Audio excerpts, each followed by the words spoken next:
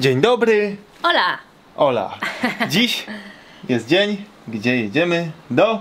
Hiszpańskich cytryn. Dokładnie, jedziemy ich odwiedzić i zerknąć, co oni sobie tam robią w tej Hiszpanii. Tak.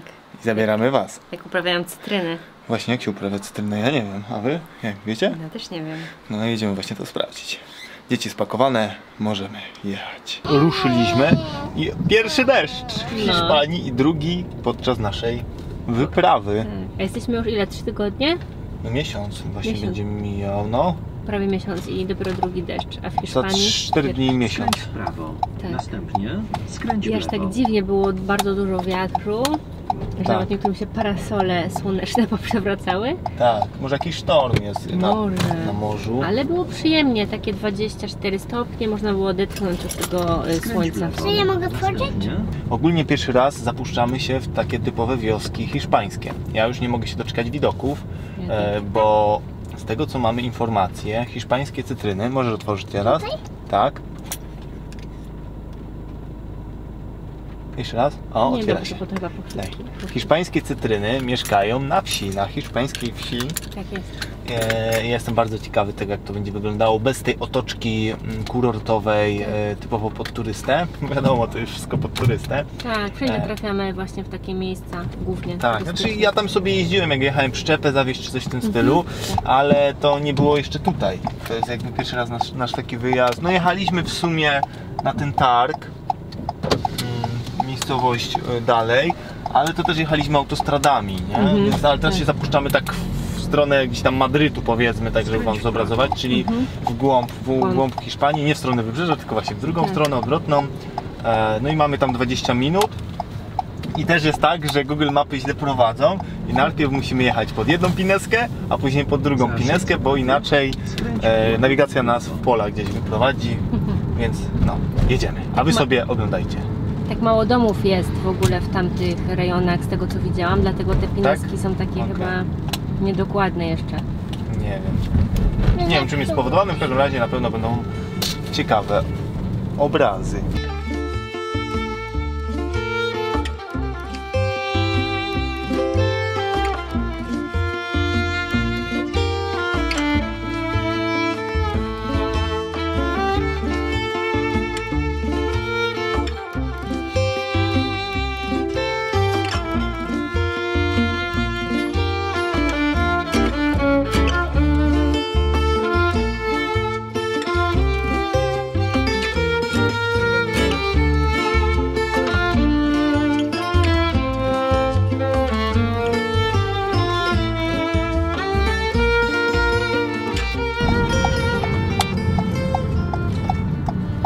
Dojeżdżamy. Skręć w lewo. Następnie skręć łagodnie w prawo. No ładnie. Skręć łagodnie w prawo. Dobra. Ładnie. Ale Inaczej. patrzcie jaka podmurówka ładna z kamienia, nie wiem czy to widać. Widać, widać. Fajnie. Tu. Koperek. Ciekawe jak to Widać wygląda. coś? Cytryny. Cytryny. Cytryny, wszędzie. Po lewej cytryny, po prawej I cytryny. patrzcie, pod drzewami normalnie leżą No. takie. O, po lewej też są. Krzaczki jakieś. Cytrynki. Zupełnie. Cukrajkowycze. Zupełnie inaczej. O, tu jest jakiś zbiornik wody. O, Nie, to jest jakaś dziura, to jest jakiś wielki zbiornik basen. wody to był, no. Pewnie do podlewania, tylko jest wyschnięty teraz. Może, no, faktycznie. Didi, nie trąb, róże śpią. To koguta posłać? No, Tak dziwnie, po hiszpańsku trochę. Nie wiem, czy jesteśmy na miejscu. Chyba jesteśmy na miejscu. zobaczymy, dzwonimy, czekajcie. Karolina tam dzwoni, a jedę kulturalnie zadzwonić dzwonkiem, jak to powinno mieć zwyczaj, gdy się przyjeżdża w gości. Dawniej nie było telefonu, więc trzeba podzwonić dzwonkiem. To jeszcze raz. Dzwonię dzwonkiem. Zobaczymy, co się wydarzy. O, piesek jakiś tutaj. Puszczek swój wychylił. Dobra, czekamy. O, brama się otwiera. Cześć, Są mi cytryny. Cześć. Witamy ponownie. witamy ponownie. Witamy ponownie. W hiszpańskich cytrynach witamy. Ale pieski. Polusia będzie na pewno zadowolona. Tak, Polusia już się, już Wow, ale fajna. Chodź, ja ci pokażę jak to zrobić. Piękna. Chodź, jak zabawka. O, a Pola Tak? oswaja się z Tak, pieskiem. tu- Tutaj jaki jest mięciutki piesek, no widzisz? No. Jeszcze raz. no. Tu ma ucho Pola jeszcze się boi piesków niestety, ale Zobacz. coraz lepiej jej to idzie. No. Za ucho tu pogłaskaj. Albo za łapkę. O, No za łapkę, zobacz, jakie ma. No, Tu ma nosek czarny. Widzisz? A tu ma imię. O, Chica. Chica to znaczy dziewczynka po hiszpańsku. No, Mhm. to jest taka mała dziewczynka nasza. Tak. pogłaskaj. No widzisz, jaka jesteś odważna. Rodzina wypakowana w komplecie, także idziemy eksplorować nowe tereny hiszpańskie w dodatku. Na Instagramie tam było, że... Wow, ale palma. 10,5 metra ma. Wow. A to palma palmą, ale tu je jak się tutaj ładnie rośnie. Tu ja to zawsze znajdzie. Dobry grunt. Tak. Ale aż tak? Super. W ogóle piękne miejsce.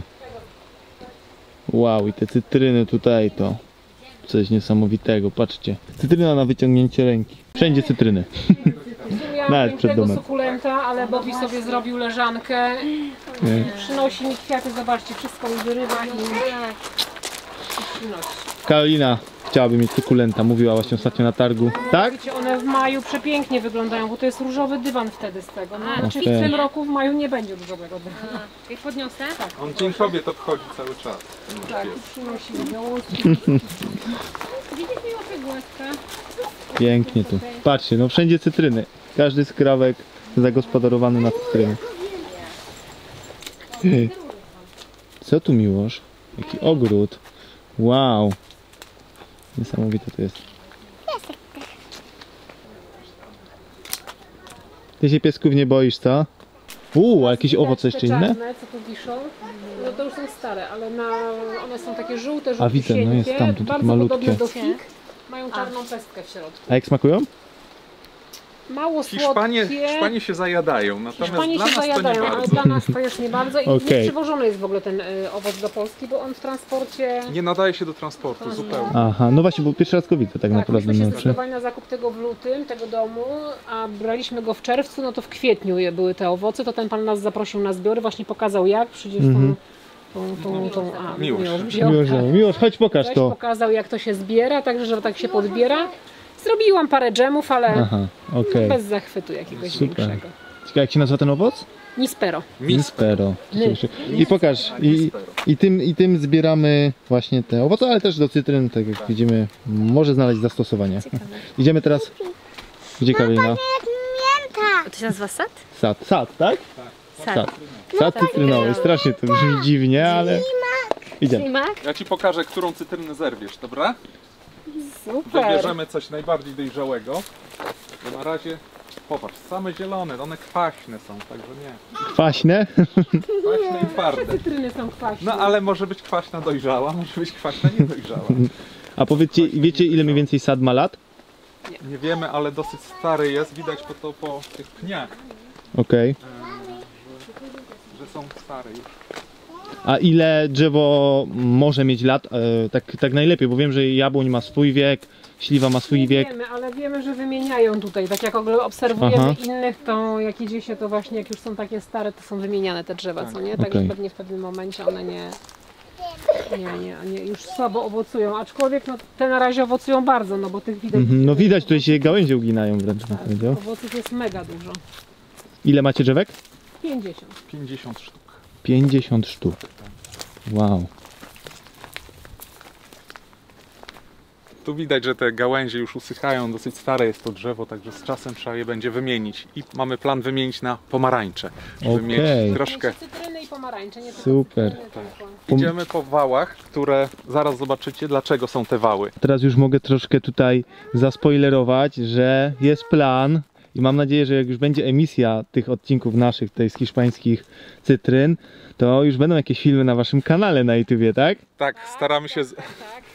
Wasza wizyta nas zmotywuje do tego, żeby. Super, to, na pewno. Myślę, że spróbujemy tutaj zrobić wszystko, abyście wy jako widzowie, tutaj co oglądacie, też mieli dawkę informacji o cytrynach, bo ja ogólnie jestem bardzo ciekawy tego tematu, bo wiadomo, jabłoń, śliwa, czy inne drzewa owocowe, które mamy w, Polsce, w Polsce, to wiadomo, tak? Ale to jest zupełnie inny rodzaj drzewa i myślę, że uprawa na tej ziemi zupełnie inaczej wygląda. Tak, no my też, nie ukrywam się, uczymy tego, Mm. nie mamy w ogóle wykształcenia rolniczego, ale metodą prób i błędów na pewno dojdziemy do sukcesu. No dobrze, no to w takim razie zapraszam na kanał Hiszpańskie Cytryny e, i tam na pewno znajdziecie dawkę informacji na ten temat, tak? Tak, zapraszam. Miłosz, to znalazłeś? Miłosz, Miłosz, Miłosz Wojownik. Miłość wojownik. Co znalazłeś? Cytrynę? Nawet nie znalazł, a zerwał. Zerwałeś.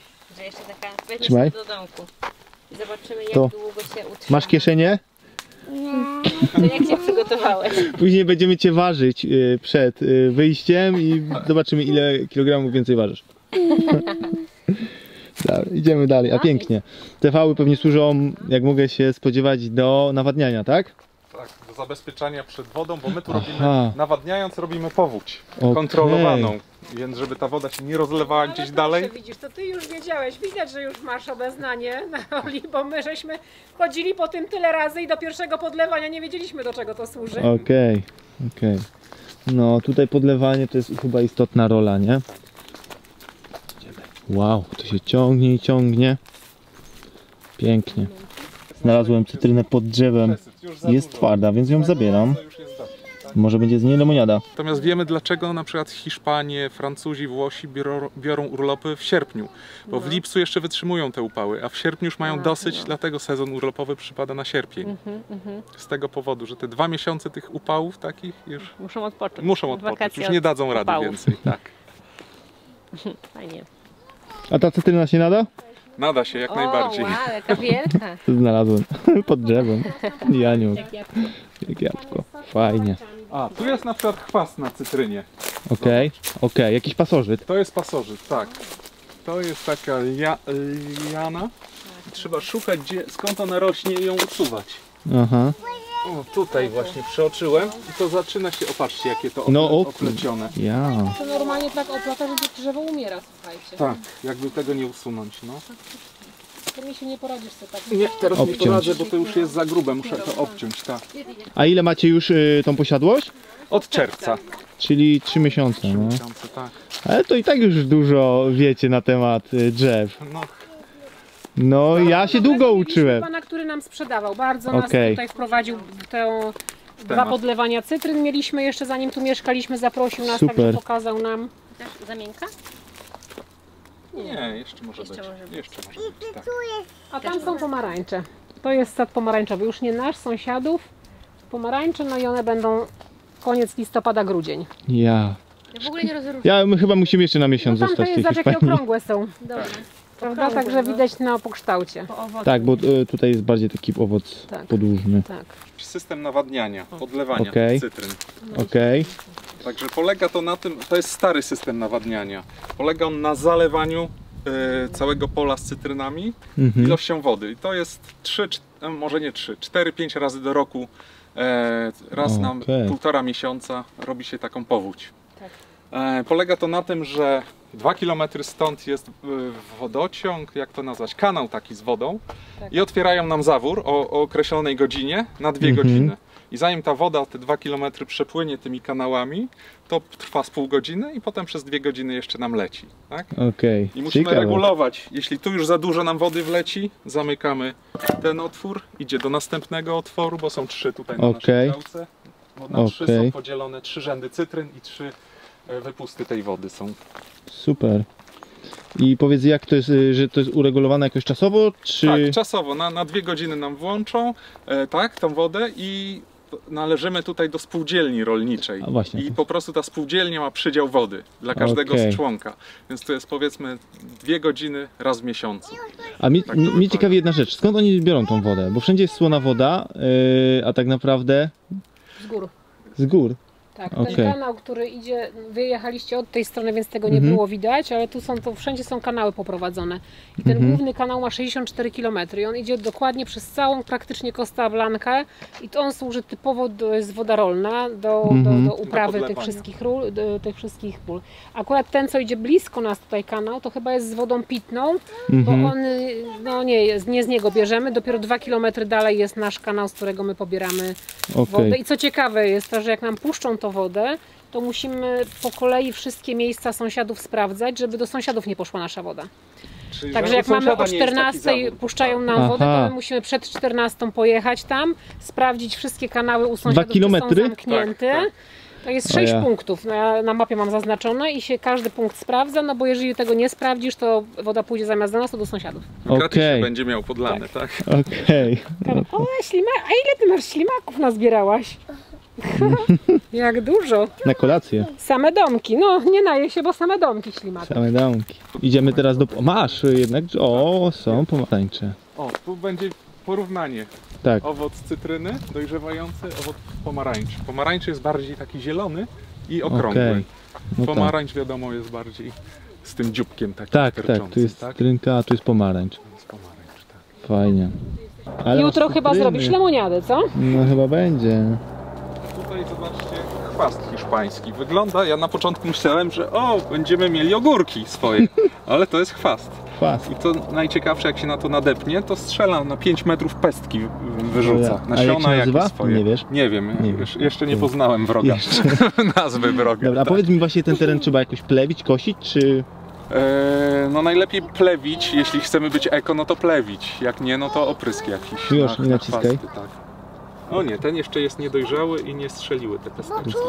No tak. Zwykle większe jak są, to wtedy strzelają. W związku z tym, że nie mamy tutaj wodociągu podpiętego e, i głównie tak na tych wiejskich domkach nie ma, e, mamy zbiorniki na wodę. One się Okej. nazywają depositos, jako depozyt wody. I to jest tak, że taki zbiornik ma 3 metry sześcienne wody. Mamy dwa takie zbiorniki i jak się kończy ta woda, to dzwonimy i beczkowóz przywozi nam Okej. wodę. E, Dla naszej dwójki na miesiąc wystarcza dwa takie zbiorniki z wodą. Do tego jest pompa, no i jest zaopatrzenie w wodę w ten sposób. Taka anegdotka teraz. No. To u nas takie szambo wywozi.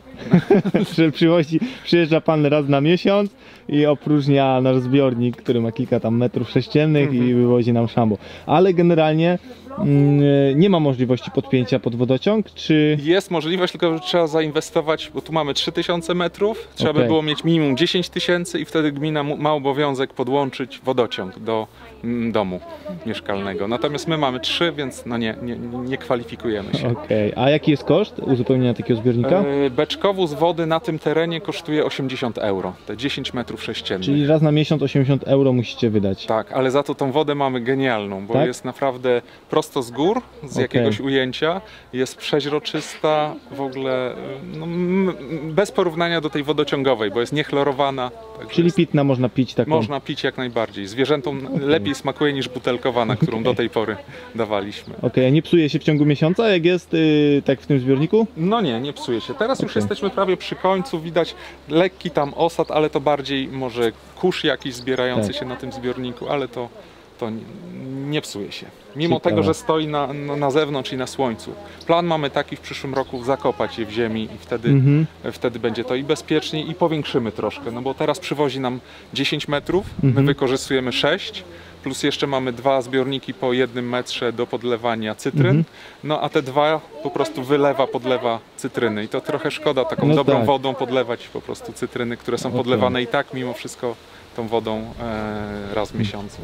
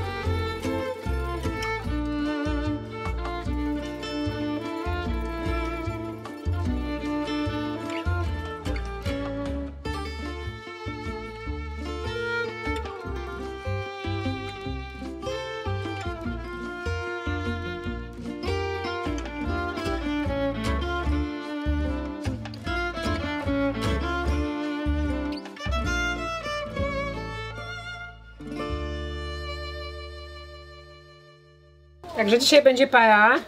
Wow. Para z owocami morza i z rybą, czyli będzie tuńczyk, muszelki, krewetki, wow. y, kalmary. No i do tego jest potrzebny wywar, oczywiście ryż specjalny hiszpański do paei. Także to jest z okolic Walencji, Okej. z naszego, no, z naszego regionu, ale trochę wyżej. E, już nie Costa Blanca, tylko, czy to już nie, już nie jest Costa Blanca. No. no i będziemy, będziemy działać. I zaraz w trakcie wszystko pokażemy. Super. Oliwa? Piwo z oliwek. Też z regionu tutaj Mursi, niedaleko. Wow. No właśnie kupiliśmy na targu oliwki, po prostu jest... No, petarda. Bez No, można jeść, jeść. Bez końca. Ile się da? Ile się da? A ile się da? Dużo się da, Dużo, prawda? nie? Oni to czarne uwielbiają. Oj, Miśku, musisz mi pomóc, nie otworzę. A tutaj co mamy w tych czerwonych Pomidor. słoiczkach? Pomidor, okej. Czy jakiś Uwaga. przecież pomidorowy, ale...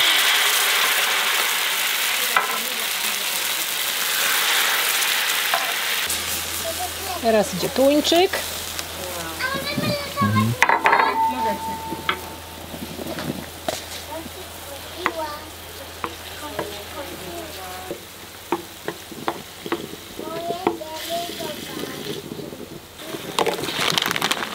A to co, mam daktyle? Nie. To jest papryka. Papryka. Nie.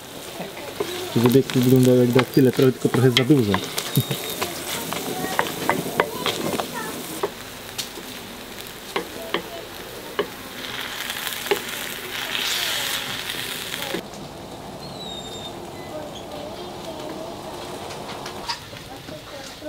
Ile dałeś? Dwie i pół. Yy... Dwie.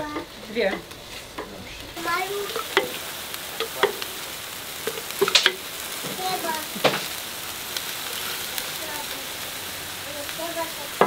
Możesz Miśku zblendować to. Idzie do blendowania. Pomidorki. No i już dajemy ryż do paja.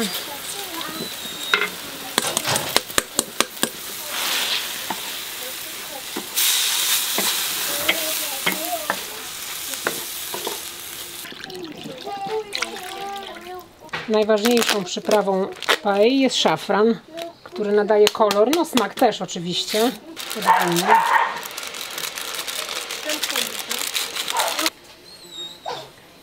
Piesek jest mięciutki. No. Piesek dziewczynka, tak. A, I ma... duży jest kolor. Duży jest inny kolor, tak. No. Brązowy, tak? A ten jest mały. I Mały. jaki ma kolor? Ui. Biały, tak. Który nieulubiony. Ulubiony, a Twój ulubiony, tak? No to dobrze. Ale powiedz, schowaj brzuszek. I No. nie gryzie mnie, Nie, nie gryzie. Nie, ten bo piesek nie mam e, włosów. spodni nie masz. No. Tylko mam koszulkę. Sukienkę. To co, uczymy pieska szczekać? No jak piesek szczeka? Hał, hał.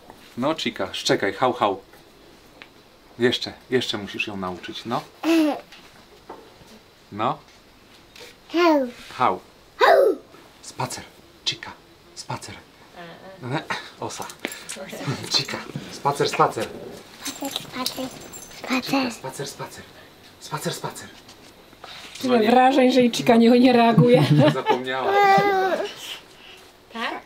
Chodź, zapniemy pieska i nie będziesz się bała, tak? U nas to często.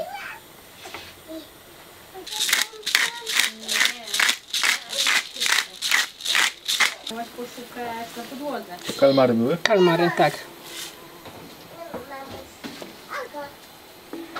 Ej, śmiech mi pan. Jak to Tak, to jest nazwać? emaliowana. Emaliowana, A to tak. jest zwykła metalowa. Metalowa. Aha, okej. I najgorszą rzeczą, jak dla mnie przy paei, jest mycie tej patelni. No, no, no. Bo ona No bo ty nie gotujesz, Ja nie to dla ciebie nie ma być najgorszą gotowanie, tylko mycie. Bo moment rdzewieje. Wystarczy umyć, odłożyć Aha. do Trzeba ją wysuszenia. umyć i od razu oliwą nasmarować, bo inaczej zerdzewieje, ale to moment dosłownie. A to nie żeliwna jest przypadkiem? Żeliwo tak, taki ma charakter, Nie, że od Tak, razu nie, tak, to rdzewie. jest metal, metal, goły Aha. metal, tak. Okej. To jest Ciekawe. no. A miłość przed z kolejnymi cytrynami. Ale miałby zajęcie. Może to jest za trudno. No właśnie.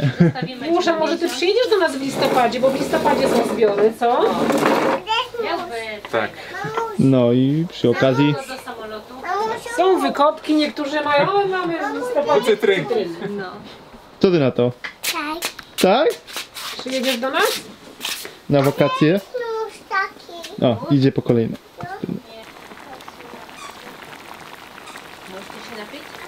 Krewetki też są obrane, także będzie przyjemniej jeść.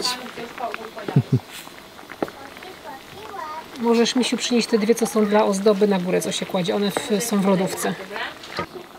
Ciekawy zapach. się kosi łapki.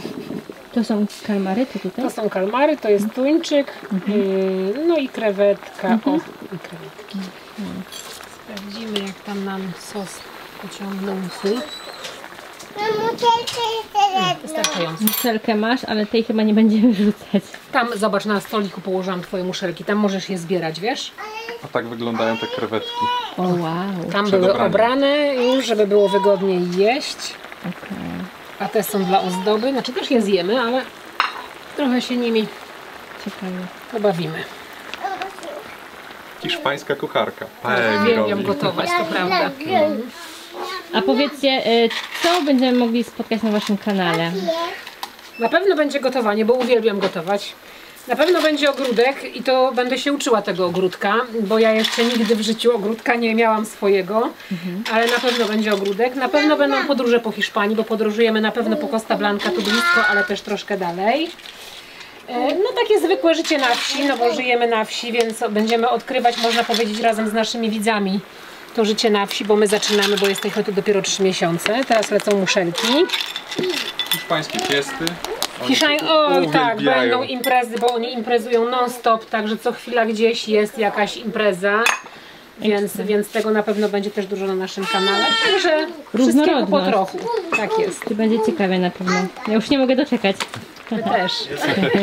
Są szparagi. Mamo, już masz jeszcze długą zabawkę. Teraz papryczki. Teraz papryczki. To wygląda tak mm, instagramowo. Tak też smakuje. Moje gotowanie za chwilę się kończy, bo zaraz przykryjemy paję i ona będzie dochodziła dobre pół godziny, czyli ryż będzie ciągnął sos. O, także praktycznie można powiedzieć, że powoli ją kończymy. Tak, i obciążamy. I teraz trzeba ją dociążyć, żeby ona się ładnie, szczelnie zamknęła. Robimy to doniczką. To jest kombucha? Kombucha ta jest z marakują akurat zrobiona. Wow. Ja lubię Super. dodać do niej wody. Jeszcze takiej.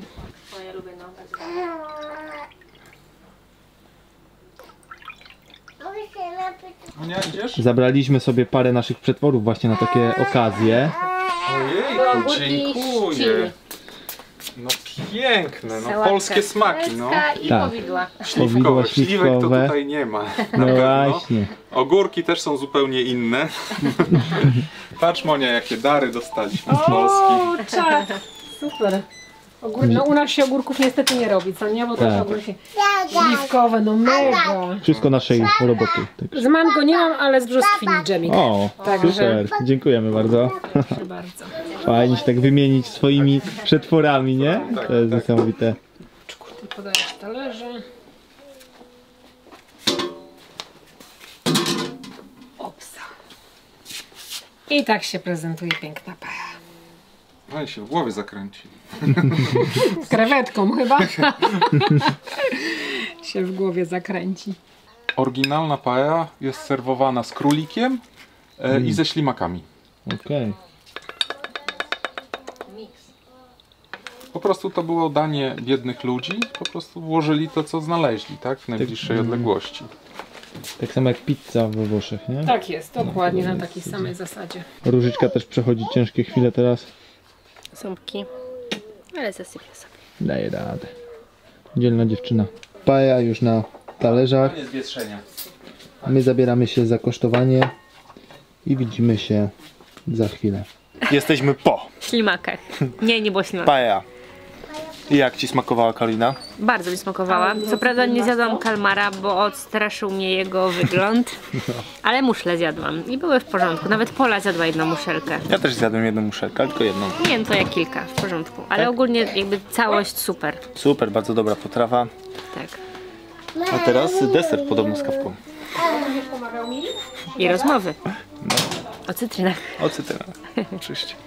Piękne miejsce, co? No, jestem, jestem zauroczona. Byłam zauroczona jakby mm, domem, w którym mieszkamy, ale wiedziałam, że to jest dom po prostu koło domu i domu i domu. To tutaj po prostu jest dom na wsi, gdzie po lewej stronie są cytryny, po prawej cytryny, a wprost są pomarańcze i nie ma tutaj y, innych ludzi i właśnie takie miejsce jest. Takie jak nasze, tylko że y, w Hiszpanii. Super. Las cytryn zamiast lasu takiego jak u nas. Zobaczymy, co będzie w przyszłości. Las cytryn, nie pomarańcze. Wszystko się okaże. A teraz czekamy na deser. A Miłosz tyle cytryn w międzyczasie nazbierał. No właśnie. Aguś. A tutaj są takie baby, zobaczcie. Wow. Dzieciaczki jadły je Czekaj, przed muszę wyostrzyć. To już jest wylizana przez chyba pole.